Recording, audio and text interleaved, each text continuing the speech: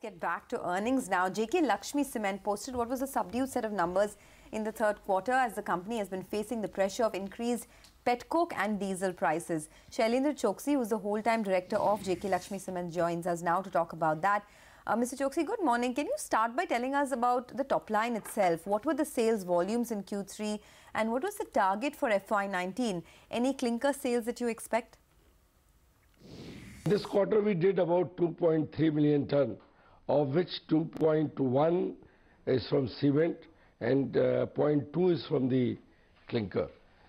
Uh, in terms of nine months, uh, we have done about uh, close to 6.8 uh, million ton, uh, of which the clinker sales is about uh, 0.7 million ton, 7 lakh tons, and 6.1 is cement. Uh, in, terms of the total number, I think we expect the last quarter to be uh, substantially better than what we have witnessed in the earlier quarters. So, you know, one can uh, probably come to the numbers. It will not be correct on my part to give you the exact number. Okay. Uh, can you tell us what are the capacity utilization targets and can you give us what the geographic mix of the company has been? Our capacity utilization has been in this quarter about 81% and out of the total uh, sale of 2.3 million ton, uh, what we got from the existing market which comprises of mainly north and some part of west is about uh, 1.7 and in east we did about 0.6 million ton. Okay, so that's on uh, capacity. Uh, what about pricing? How did realizations move, Mr. Chouksey? Was there any increase? If you could just tell us about both the segments, trade as well as non-trade. You see, our realization actually improved by 2%, though there has been hardly any increase in the cement prices per se.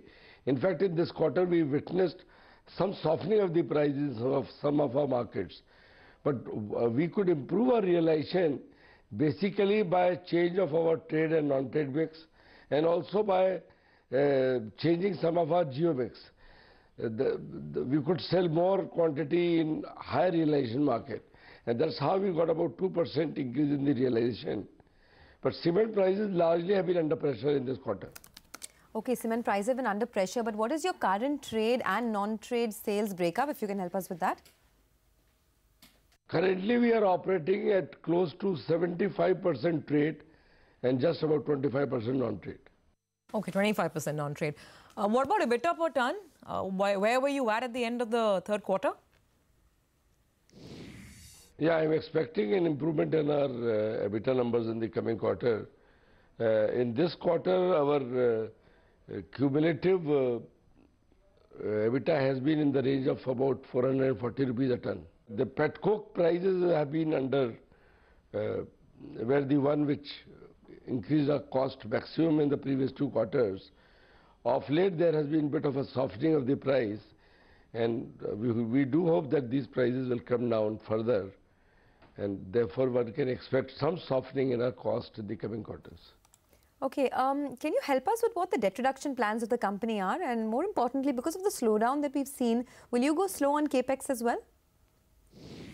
We are constantly, uh, continuously reducing our debts by about 200 to 250 crores every year, and the same is the case this year. And uh, I mean that is the way our loans have been structured. We are required to repay, repay about 200 crores every year. But what is the current debt of the company?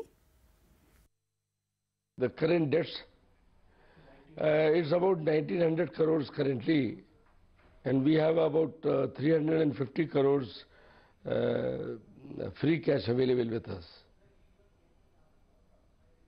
So the net debt is about close to 1550 or so.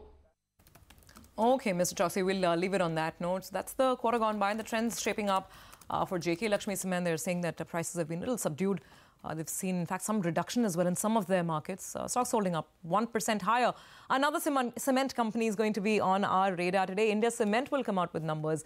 Let's ask Nigel what the expectations are. Nigel? Well, uh, it should be a rather subdued set of numbers for uh, India Cements. In terms of the top line, we're working with the growth of around 8.5 to around 9% approximately. Should come at around 1,300 crores odd. but the operating profit should see a degrowth of around 10%. And that would mean that the margins will get compressed by around 250 to around 300 basis points.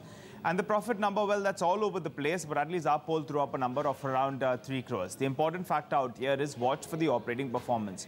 Why do you see such a big degrowth in terms of uh, margins?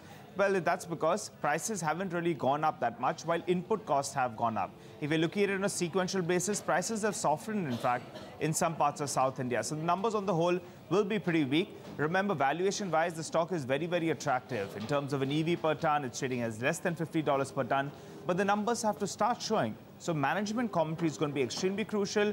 Watch out if in case there is any debt reduction, that's going to be a big trigger for the stock as well going ahead. So we'll keep an eye out. Just want to alert our viewers uh, that when India Cement's numbers come out, the volumes numbers don't come. You know, so that's something you'll have to wait by. We'll try to bring it uh, to you all. And in fact, uh, you know, management commentary on that as well will be very crucial. Back to you guys. Okay, all right, uh, Nigel. Thanks very much for that. That's India Cement.